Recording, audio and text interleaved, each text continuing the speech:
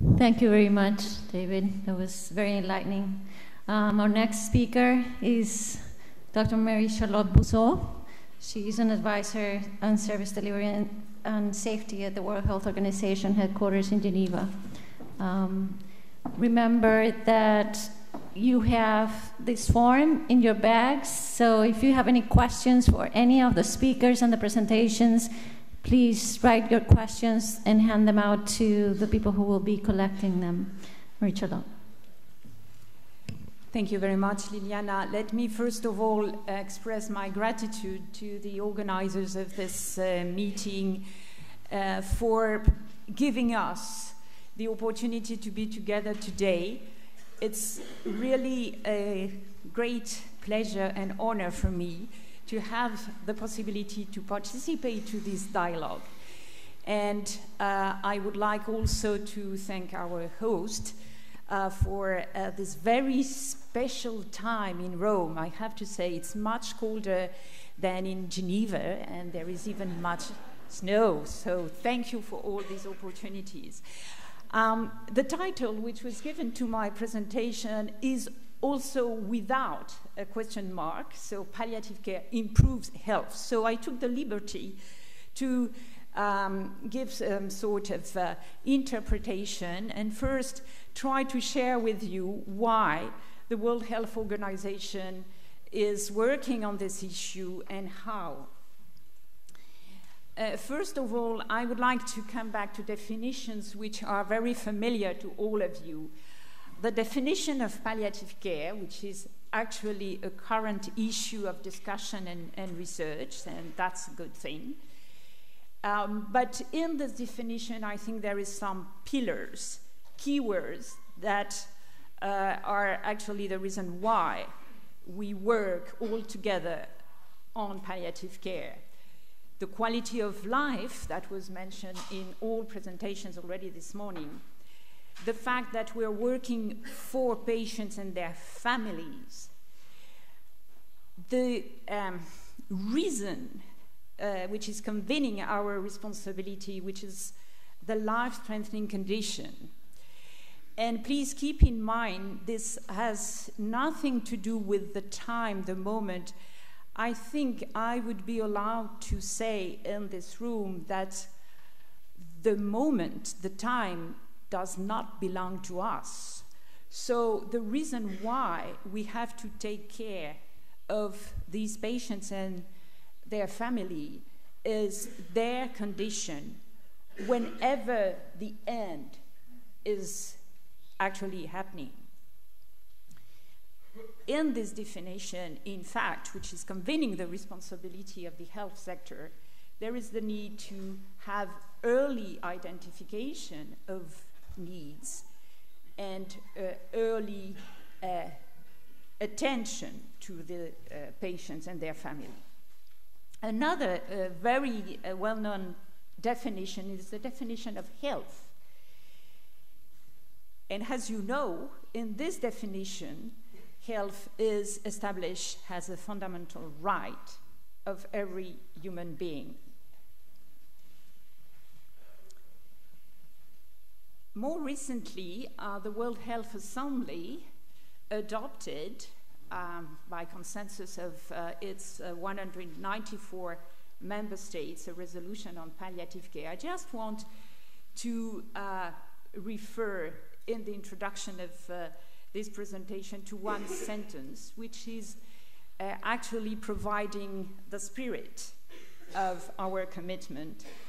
Our work for the well being of patients is actually serving the human dignity and is, has mentioned already several times this morning, a, an effort to um, serve the person. It's a person centered uh, effort, taking into account the values of the people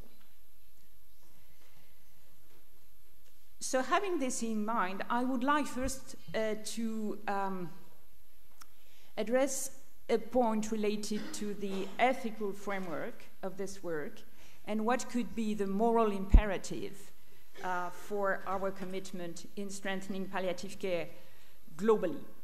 My second point would be related to the need to transform modalities of care because I'm convinced that palliative care is the best example of integrated people centered care and is able to transform health system. I will also propose a, a different analogy. You know that uh, over the past decades, the uh, analogy for uh, palliative care strategy was like a sort of umbrella, and I would like to propose to build a house because it's probably more um, comfortable for the patient we have to take care of and also more complex. And I will end my presentation with a few words on the current activities in the World Health Organization. So, our ethical uh, framework is certainly not new. Uh, from Hippocrates until a more recent uh, policy of the World Medical Association, also represented in, in this room, there is a clear commitment to take care of patients, people suffering, and also um, a clear uh, commitment uh, to avoid abandonment. I think uh, this is something we, we have to keep in mind, whatever uh, function we have in the health system. So, this ethical duty uh, prohibiting abandonment of patients uh, is the reason why we need to put in place palliative care programs.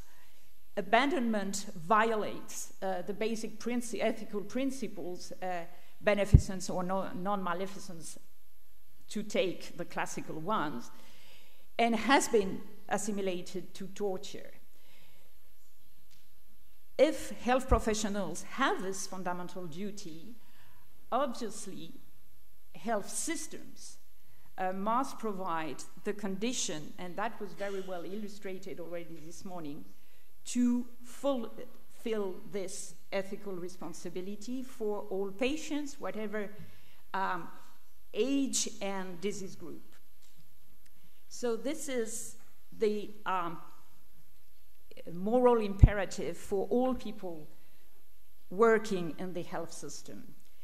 The national policies, in addition, uh, must look at two other important principles uh, in order to ensure equitable access to palliative care and also um, to ensure that decision making processes allow uh, the active participation of everybody, starting with uh, patients and family, from an early stage. So the uh, active autonomous decision.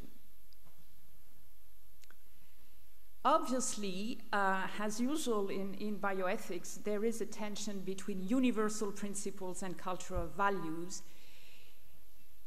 And the third point of tension is the singular decision.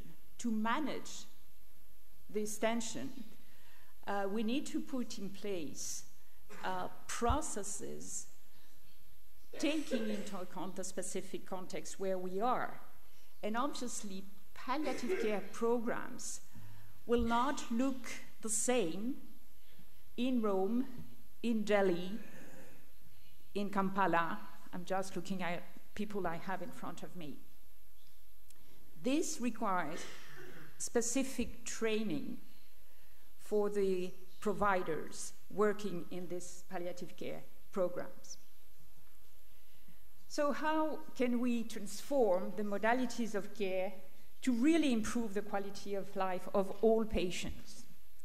Historically, um, palliative care was initiated basically within cancer programs and for end of life or dying patients.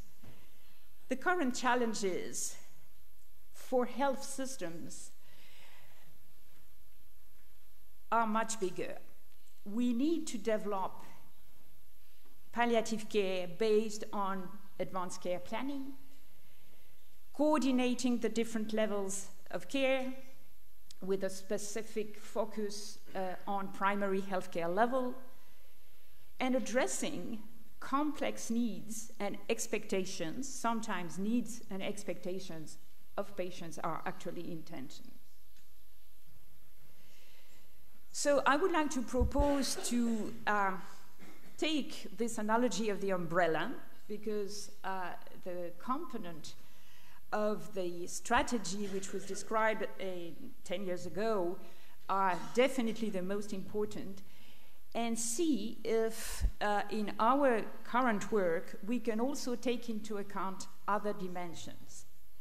Definitely, we will have first the need to provide access to, uh, to drugs, the need to provide good educational program to the uh, public health uh, workers, the need to have good strategies, but maybe we can also complexify a little bit the model. And as I said, I would like to um, discuss with you how we can build the House of Palliative Care as a real integrated people centered approach and a cultural transformation of health systems. When we want to build a house, we first have to know where we are, because depending on where, where you are, the model will be quite different. And this is definitely something important for a, an international organization like WHO. We will definitely not promote one model. The foundations of the house, um, whatever the model is, is definitely access to uh, opioids and um, more generally essential medicine for palliative care. As you know, 85% uh, of the population of the world still don't have access.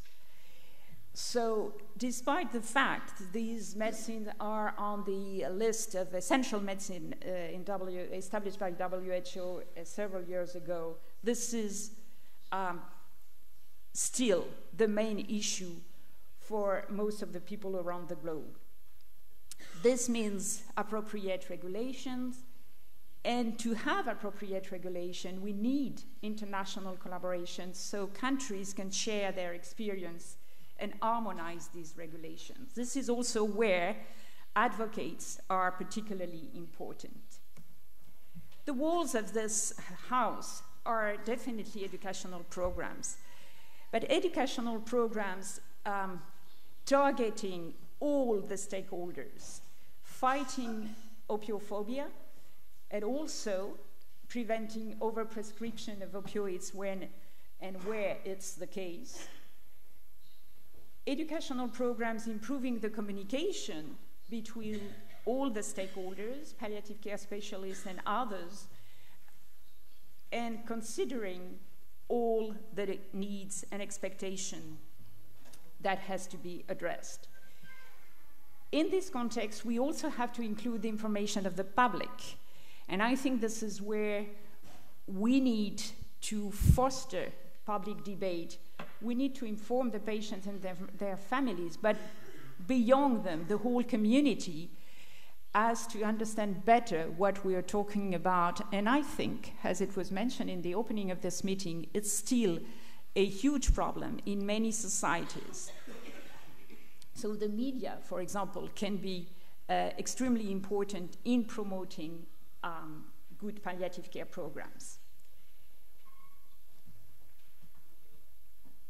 The entry point of these programs um, is definitely the national policy. Well, this is clearly established in the resolution adopted at the World Health Assembly in 2014. Every country should have a national policy on palliative care, but not only a policy on palliative care, also component of other national policies addressing the need uh, to strengthen palliative care across disease groups. In many countries, uh, most of the patients in need of palliative care are patients with HIV, for example, or um, tuberculosis so it's important to ensure that the palliative care component is everywhere. And based on the specific uh, need assessment of the country in order to avoid trans transferring problems from one country to another and not addressing the real problems. A key issue uh, in developing these uh, national policy is the development of good indicators. And fortunately, uh, many people in this room are working on this uh, because I have to say um, it's, uh, it's a big challenge for the organization to have good indicators to monitor the policy because uh, policymakers uh, don't like to strengthen program if they don't have uh, some tools for measurement. It's definitely an issue for better research. in this house of palliative care we have to build together, there is multiple approaches to address the complexity of needs. And I think the different windows of this uh, house are actually represented in this room uh, with the diversity of actors, chaplains working with nurses, uh, physicians uh, with psychologists. This is absolutely a key success factor for the building of the program. But above all, um, maybe, I don't know, maybe missing in this room, uh, people um, from a patient organization, patients themselves, uh, family caregivers. I think we have to make a particular effort to uh, bring this voice in our discussion and in the construction of uh, this um, new house for palliative care. On the top, uh, I already mentioned the public uh, debate, and I think what is uh, particularly important uh, in this debate is also to have a social commitment on modalities. in some countries, uh, it could be advanced directives. In other countries, uh, these modalities would be completely different. But to ensure that the decision making process is very well known by everybody and uh, allow uh, actually to address the complex needs of the people, not only to control physical symptoms. In this, um, I think the, the cultural uh, uh, aspect is, is crucial, and maybe it's both way. The discussion on palliative care can also uh, help societies to um, go through important cultural changes and clarify their uh, responsibility, as we were asked to do uh, this morning, um, with regard to the most vulnerable. So, what WHO is doing on this? Well, um, following the adoption of the uh, World Health Assembly resolution, uh, a number of uh, tools have been uh, developed to implement this global commitment. There is already uh, one manual which is available for um, the planning and implementing of palliative care program with a focus on places where uh, there is very few uh, things available. We are currently developing three other specific uh, tools uh, to implement palliative care for children, uh, palliative care at primary healthcare level. This is, uh, as I mentioned, a priority for us and also palliative care in a specific context, which is um, the response to humanitarian uh, emergencies and crises. Uh, some of you in this room are also part of a, an expert group developing guidelines for uh, the management of cancer pain treatment in, in adults.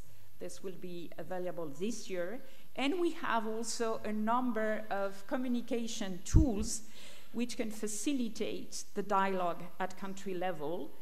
Uh, we have opened a community of practice where uh, experts uh, can share their experience in different countries. And we want also to learn from good and bad experiences uh, in different countries and to share uh, and, and, be able to analyze these experiences to propose um, suggestions to, to other countries.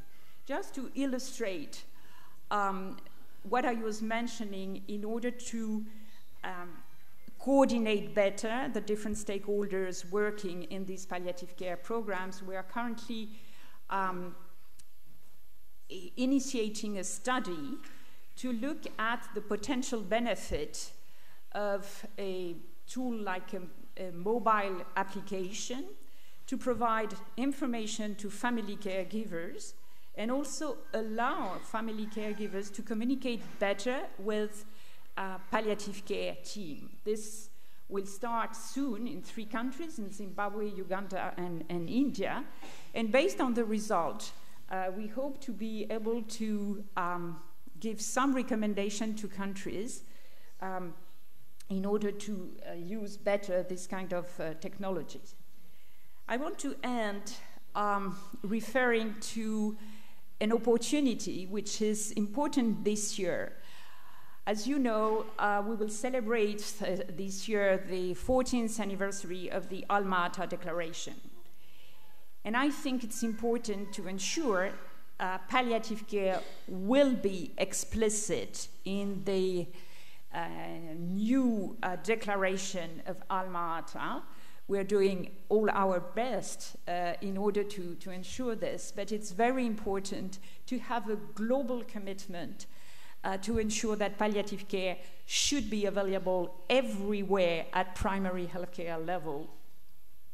It's also important because uh, it's a commitment for the development of integrated people centered care.